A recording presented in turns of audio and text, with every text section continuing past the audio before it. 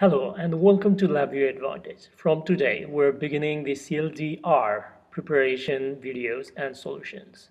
So we'll be beginning with the Certified LabVIEW Developer Recertification Sample Exam questions and I'll explain to you why the solution is it so.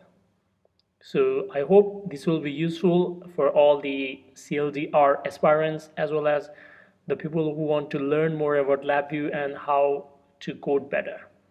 So let's begin.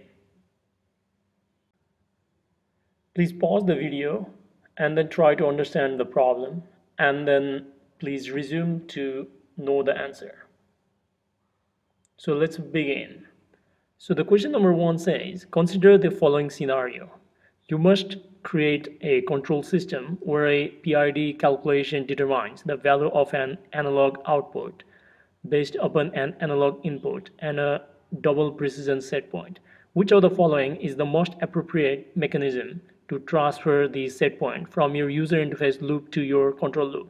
So in this case, you are asked to send a double precision set point data from one loop to another. So if you have taken some NI-based training or anything, uh, the data transfer mechanism can be categorized into basically four parts, but in simple form, it can be categorized into three. Uh, are the tag, message, and streaming. So in this case, we're only considering about the last value. So we don't actually need to send lots of data. So this is a tag-based problem. So if you look into the different options, queue is basically a streaming and messaging. So queue is out of the equation. So option A and D are both incorrect.